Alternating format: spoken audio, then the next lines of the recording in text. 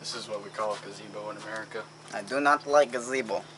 No, maybe maybe you'll like this water. It's brackish. It's, What the fuck is water? it's half salt and half water. I do not like this brackish you speak of. It is pain in assholes. Yeah, a lot of people say that. You're pain in assholes. And you're you're very hot. I like your ass. It is very nice. I like yours too.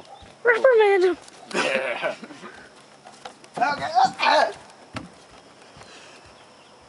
that was very nice. I know. No, stay away. Don't run away from stay me. Away. Stay away. Stay away. Stay away.